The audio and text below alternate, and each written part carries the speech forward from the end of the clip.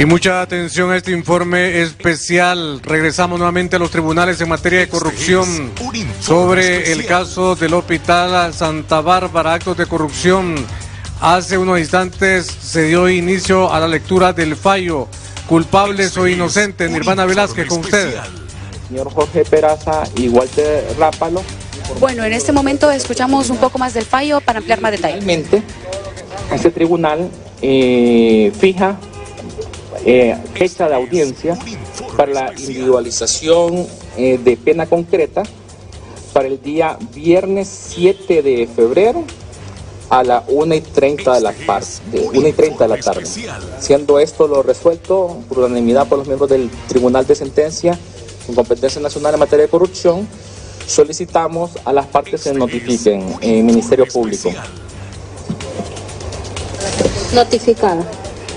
Bueno, en este momento se ha ya dado la resolución de este caso del Hospital Integrado de Santa Bárbara, en donde ha resultado culpable el señor exdirector del hospital, Jorge Heriberto Peraza, por un delito de fraude y podría llegar a pasar hasta 11 años bajo prisión como pena máxima, pero se ha absuelto de siete delitos de abuso de autoridad.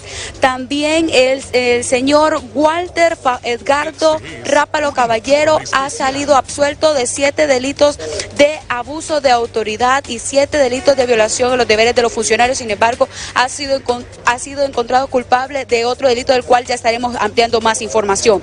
Por parte de la señora Carmen del Rosario Fernández, quien fungía como jefe de laboratorio, ha salido absuelta de siete delitos de violación de los deberes de los funcionarios. De igual forma ha pasado con la jefe de la farmacia, Carlota del Carmen Hasbun Caballero, quien ha sido absuelta de siete delitos de em, violación de los deberes de los funcionarios. También el jefe de rayos X, bueno, este aún está todavía pendiente, vamos a recopilar bien información, pero sí podemos notificar también que el jefe de enfermería, la jefa de enfermería, Cándida Erazo, también ha sido absuelta de siete delitos de violación a los deberes de los funcionarios. En breve ya están saliendo las personas, vamos a consultar acá también con Carlos Silva para que nos amplíe más toda la información. Carlos. Sí, en efecto, hace referencia que en la lectura del fallo correspondiente que ha sido dictado hace unos instantes eh, por parte del Tribunal de Sentencia en materia de corrupción, se ha declarado la responsabilidad penal para el director del Hospital Regional de Santa Bárbara, el señor Jorge Heriberto Peraza Padilla, por un delito de falsificación de documentos públicos y un delito de fraude a título de autor, quedando una pena abstracta de 7 años y 6 meses como pena mínima a 11 años y 3 meses como pena máxima, más la inhabilitación absoluta por el doble de tiempo que dure la pena. Al señor Peraza Padilla además se le declara absuelto de toda responsabilidad penal por el delito de abuso de autoridad. En cuanto al encargado del almacén de aquel hospital, el señor Walter Edgardo Rápalo Caballero, se le ha encontrado responsabilidad penal por un delito de falsificación de documentos públicos a título de autor en concurso ideal con un delito de fraude. Además, al señor se le ha declarado absuelto de responsabilidad penal por siete delitos de abuso de autoridad y siete delitos de violación a los deberes de los funcionarios. En cuanto a la señora María Demetria Rodríguez, Cándida Erazo Cándida Rosa Erazo, Carmen de Rosario Fernández Fajardo y Carlota del Carmen Hasbun se le declara absuelta de responsabilidad penal a las cuatro señoras antes citadas. Por lo tanto, los jueces del Tribunal de Sentencia han mantenido la medida cautelar de la prisión preventiva para Jorge Heriberto Peraza y Walter Edgar Rápalo Caballero en el fallo, en virtud del fallo de culpabilidad dictado. Y para las encausadas María Rodríguez, Candiderazo, Carmen de Rosario Fernández y para la señora Carlota del Carmen Hasbun se ordena su inmediata libertad y revocación de las medidas cautelares impuestas. Además, la audiencia de individualización de la pena ha sido fijada para el próximo viernes 7 de febrero a las 2 de la tarde. Bien, muchas gracias Carlos Silva y es en este momento cuando ya están ellos realizando pues la salida de la sala de audiencia de los tribunales en materia de corrupción. En este momento, como pueden observar, se observan lágrimas por parte de algunas personas que se encontraban en el interior.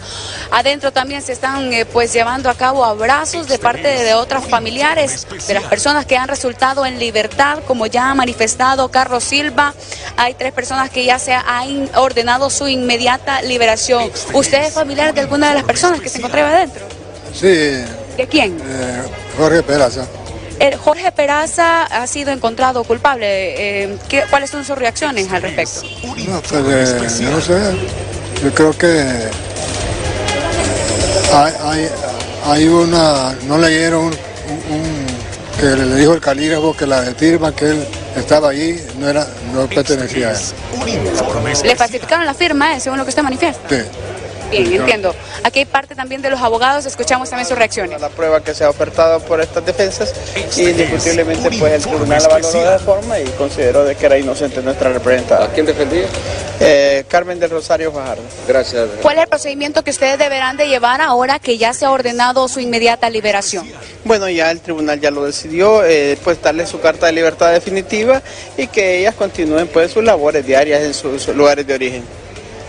Su eh, este procedimiento que se deberá de seguir para que ellos sean liberados, ¿cuánto tiempo puede tomar, abogado? Bueno, ellas están con medidas cautelares y por ende pues solamente se revocaron las medidas cautelares y lo que viene ahora es de que vuelvan a sus em, lugares a realizar sus actividades diarias. Bien, muchas gracias. ¿Su nombre y apellido, abogado? Jacobo Salandía. Bien, muchas gracias, abogado. Bueno, esto es lo que se desarrolla desde los tribunales en materia de corrupción. Vamos a escuchar un poco también de la reacción de los demás abogados.